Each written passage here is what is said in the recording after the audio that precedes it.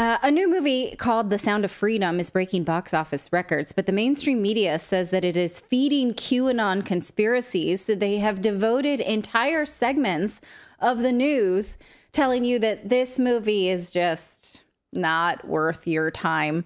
Uh, this is a really weird media narrative. The movie here, uh, seen here, called The Sound of Freedom, was released on the 4th of July. It's a movie about the very real and horrifying world of human trafficking and one man's efforts to stop it. We actually have had that man here on the show. You may have seen. Um, his name escapes me and I didn't put in, in my notes, but this is his real story about trying to save kids, like real kids from slavery. Uh, the media is saying, though, yeah, child trafficking, that's bad and that's real. But this is just too much because it validates QAnon, because QAnon cares about human trafficking.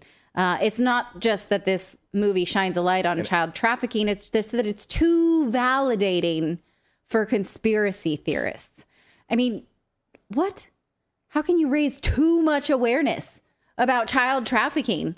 Uh, watch CNN have a guest on and say, yeah, trafficking's a problem, but you know, come on, we can't like validate QAnon conspiracy theorists because it makes people like think that they might be right about other things. Uh, watch this baddie say this thing that I can't believe anyone would go on TV and say. And you seem pretty familiar with him because he doesn't really hide his association with this real wild plot uh, that that involves, you know, drinking the blood of children and things like that.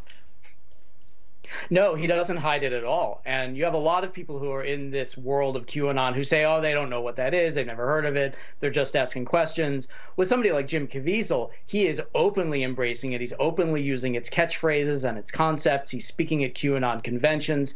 And this film is being marketed to either specific QAnon believers or to people who believe all of the same tenets as QAnon, but claim they don't know what it is.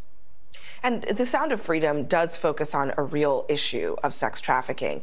Uh, but that theme, it, it's sort of like that kernel of truth that feeds the QAnon conspiracy theory. Uh, tell us how those two things work together.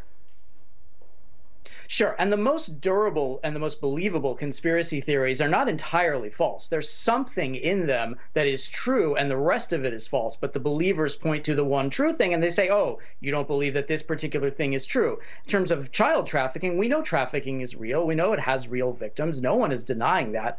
But these films are created out of moral panics, they're created out of bogus statistics, they're created out of fear. And with something like Sound of Freedom, it specifically is looking at QAnon concepts of these child trafficking rings that are run by the high level elites and only people like Tim Ballard and only people like Jim Caviezel and by extension only people like the ticket buyer can help bring these trafficking rings down. So there's a very participatory element. You're not just going to see a movie, you're just killing 2 hours on a hot day. You are helping bring down these these pedophile rings and save children. Now it's not true, but it's a very comforting and it's a very warm feeling to have.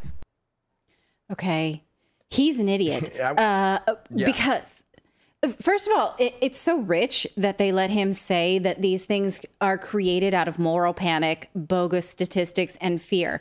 Rewind the clock, CNN, since 2020 and review how you presented the pandemic. And then tell me about moral panic, bogus statistics, and fear uh, first of all, I cannot believe the lack of self awareness that you would say, yes, there's child trafficking, but this is giving moral panic. Is there anything else in the world to give moral panic that is more justified for moral panic? Do you think? Well, then think of Think about the media's job. Like he's sitting there saying, oh, you know, with every conspiracy, there's some truth to it. So there's some truth to this, but let's overlook that little piece of truth that we should go deeper and invest. If there is a little ounce of truth, then that's a journalist's job is to go deeper and find more of the truth and actually add some add something to the story, not just write it off like, ah, we don't care about the little truths in there. We only care about, you know, the what the what how it's going to be perceived by a certain group of people. But if the linchpin here is well, child I, I, trafficking, like, shouldn't you then, and instead of say what is not true about this or what may be like anxiety ridden, but like talk about what is true and what does need to be done? Not that you should ignore exactly. this movie eh, because it may scare you too much and you're not doing anything. So let's just focus on the movie. It's such a navel gazing way to be. Go ahead, Philip. I'm sorry, I'm cutting you off. Well, I would, I would be curious to go back and see how CNN covered like Ashton Kutcher because he he he uh, is a huge advocate against you know like like for child or like human trafficking. I wonder if they like go back and look at you know if you go back at their previous coverage of that, if they say that he's just feeding into the QAnon conspiracy too. Like it's not the the the, the argument falls apart when it's very clear that they have an agenda off the bat. You know that, that CNN has an agenda. Right. Yeah. Well, I, and, and another thing uh, that I th- I found funny is like he mentioned getting out of the heat on a hot day and watching the movie. Jennifer, and, and I've seen this happening all around the country. There's stories of this, but Jennifer knew someone personally that bought tickets to go to see that movie, and they refunded her ticket without her asking. And then when she called, they said, Yeah, the, the air conditioner's not working. However, all the other movies were playing. It just happened to be that specific movie where that was that the air conditioner was supposedly broke. And she said, Well, can I come watch it anyway? And they said, Well, yeah, sure. So then she went in and watched it anyway and said there was like four people there. So it's Jeez. like they made up this story that the air conditioner and didn't didn't work, refunded everybody's tickets, and that's happening around the country. Yeah, I'm going to tell you another story that's similar to that that's been reported um, on online. Uh, it's very suspicious about the idea of getting people to not watch this movie. Um, but before we're done with that, let's before we get to those stories, let's look at a letter, another media narrative, which is crazy. Uh, here's Rolling Stone saying that it's a superhero movie uh, for dads with brain worms. Um, says it's QAnon tinged thriller about child trafficking is designed to appeal to the conscience of a conspiracy addled boomer.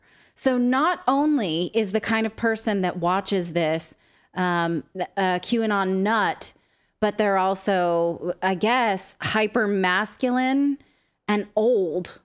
Uh, they describe this actually in the next screen, which I just couldn't believe that they would say this. I'm gonna have to read it to you because it's so crazy. Um, you know, they talk about Ballard, Jim Caviezel, the lead. Uh, we'll get to that, but um, look at at the last sentence of this paragraph. It says, in short, this reviewer says, I was at the movies with people who were there to see their worst fears confirmed. Sound of Freedom lives up to that in anticipation. It's a stomach turning experience, fetishizing the torture of child victims and lingering over lush preludes to their abuse. At times, I had the uncomfortable sense that I might be arrested myself just for sitting through it. Nonetheless, the mostly white haired audience around me could be relied on to gasp, moan in pity, mutter condemnations, applaud, and bellow amen at moments of righteous fury. Uh, such as when Ballard declares that God's children are not for sale. They were entranced by what they clearly took for a searing expose. Not even the occasional nasty coughing fit, and we had no shortage of those, could break the spell. Um, this is an incredibly ageist uh, way to talk about the film. Not else, not only like about how the film is salacious, and other reviewers have said that it's not salacious. It does not like linger on some of the more uh, disturbing parts of this unnecessarily. Um, well, but. It, what they're saying is, why else funny? would you go there unless you're old, crotchety, and want to have your worst fears confirmed? Go ahead, David. Yeah, and it's like if you're a movie reviewer, you're going to re- review the audience like I'm only here to review the audience score. Like, what do the audience do? I don't care. I'm not even going to talk about the movie. Not one thing about the movie. It's all about the audience and. I just, like I'm better than them because I'm not old yeah. and wheezing and uh, and and Christian saying amen. I mean, could you like think about you can make that argument about any other movie audience that has any kind of moral lesson like climate apocalypse or movies about race right? Or nu- movies about nuclear fallout. I mean can you think of like imagine for a second that this is being said about a progressive film that maybe you know the media likes as a narrative. Like if you played this out with the color purple like oh you know only people who like to whine about racial prejudice go to the color purple and I was in the theater with lots of black people who were acting black or upper class, you know, New Jersey Democrats with their kids who were posting on Facebook about how they took their kids to see a movie about slavery to keep it real, right? You would never do that. It's incredibly offensive.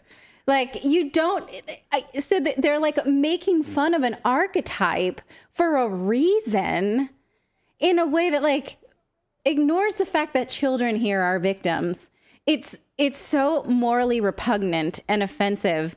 Um, and I'm just so curious about the idea that there's just too much awareness of child trafficking. Like we really don't need that. I mean, again, what Death Eater would say like too much, too much awareness again about this, um, as if you're like afraid of disrupt. I mean, as if, right? As if you're afraid of disrupting the child trafficking industry. Meaning, if you're not against it, you're kind of for it, right? I mean, that is there any other I mean, conclusion? No, and and that's the thing. Like you have people arguing this with with no like they're not even touching on the movie like the the con the the depth of the movie what's in the movie the child trafficking itself they're so focused on who it's connecting with the qanon and stuff but it's like everything you make or do is going to connect with a, a, a, maybe an element of people you wouldn't necessarily make it for but it's like all the other people that it's resonating with the, for for what reason why is it resonating with them let's talk about that i'm actually going to see Right. that movie tonight so i'll have a little bit more context Okay. after but All right. Uh, I'm going to have to wait for it to stream because it's uh, not here in Europe. But also uh, because Clayton's gone, I wouldn't watch that alone. Um, I, I would get too too much in a dark place. Uh, and you know, I'll read any kind of like dark book, but then when it comes to seeing things visually, I just I can't take it by myself. Um, now, despite all of this, the movie has done really well and beat box office expectations. It earned $18 million in its opening weekend and took the number three spot at the box office. It even beat India, Indiana Jones, which is a truly heinous movie, um, I was on say, 4th of July. I, didn't know you knew that. I was going to say, you'll be happy to know it beat Indiana Jones. yeah.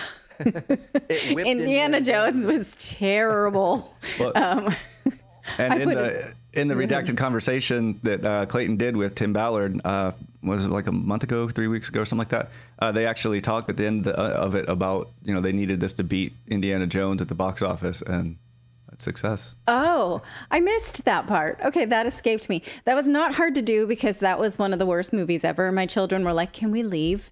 during the car chases because they just drag on so long and you're supposed to buy that a tuk-tuk can like keep up with a regular car. Um, and they were just yeah. By the I posted this on uh, on Twitter. I was like afterwards, my kids were like, "I can see now why they killed off Han Solo. Sorry if I spoiled anything there. Uh, that they killed off Han Solo because we don't need any more movies Wait, what? like that. Yes. If you still don't know that, you deserve the spoiler. I'm just going to throw that out there. That's like a, a five year spoiler. So I think we're good on that one. Um, now, I want to circle back around to the point that David made earlier is that a lot of moviegoers are saying that they are having really strange experiences of tickets canceled, air conditioning turned off. Um, here is the woman who runs the Libs of TikTok account. Uh, she gives this two minute sort of review. And um, she says that also happened to her, uh, where she went to the theater and there was a big disruption, and a lot of people were sort of discouraged from seeing the movie. Watch what she has to say. Hi everyone. So last night I went to watch the Sound of Freedom movie. Um, and it's very interesting because CNN and Rolling Stone and Washington Post and The Guardian, they were all publishing articles about how the movie is like related to QAnon and conspiracy theories. So that alone told me that this is something that um, they don't want you to watch, which is why you should definitely go watch it. Um, additionally, I also saw some reporting of people who were saying that weird things were happening when they were trying to go see it in theaters. Um, like the air conditioning wasn't working or their tickets were canceled. Um, and when I went, a couple minutes into the movie, the fire alarm went off. The entire building had to evacuate. And about 15, 20 minutes later, it was resolved and we were able to go back in and resume the movie. But it was, we were missing half the audience now. Um, but I did stay until the end, and the movie is excellent. It was educational and inspiring and eye opening. Um, I was not even aware of the extent of the child sex trafficking industry until I watched this. Um, the US is in the top three countries um, for destinations for child, sex trafficking victims. Um, it's a $150 billion a year industry, and there are millions, tens of millions of children who are currently trapped in sex slavery. Um, so it is, it's heart wrenching. Um, there were people in the audience who were moved to tears and really inspiring too, because at the end, I know for myself, I left and I was like, what can I do to help raise awareness about this? What can I do to help these children? Um, so I'm passing on the message. I hope you do too. Go see the movie. It's a must watch. Bring your family, bring your friends, tell everyone you know. Go watch Sound of Freedom. Something has to be done about it, something really drastic. So she says people in the theater were moved to tears, although Rolling Stone tells us don't worry about them. They were old people who cough a lot. Uh, I don't know. I guess it's so funny. We were supposed to care about old people during the pan- pandemic. You know, stay home, stay away from them, take the vaccine to protect them. Uh, we we're not supposed to care about them now uh, if they care about child trafficking, and you're not supposed to either. So, anyway, uh, yes, I have not seen this movie yet, but I am here to break down just the narrative around it because if you're the person saying ignore child trafficking because it's linked to other narratives that I don't like and I don't want people to know, you're the bad guy. Uh, the conversation here is maybe what this movie got wrong and what we all can do about hurting children. Uh, that doesn't seem to be a priority for the mainstream media. Uh, it's horrific. So let me know what you think of that in the chat uh, below and whether or not you'll see the movie. Thank you so much for watching this segment here at Redacted. We are live every day at 4 p.m. Eastern Time, trying to share the stories that the mainstream media will not cover. You should also come over and join our community of Redacted Rebels over at redacted.inc. That's our private locals community where we can share exclusive content that we simply cannot share here on YouTube. Come over and join the rebellion together right now by going to redacted.inc. We'll see you next time.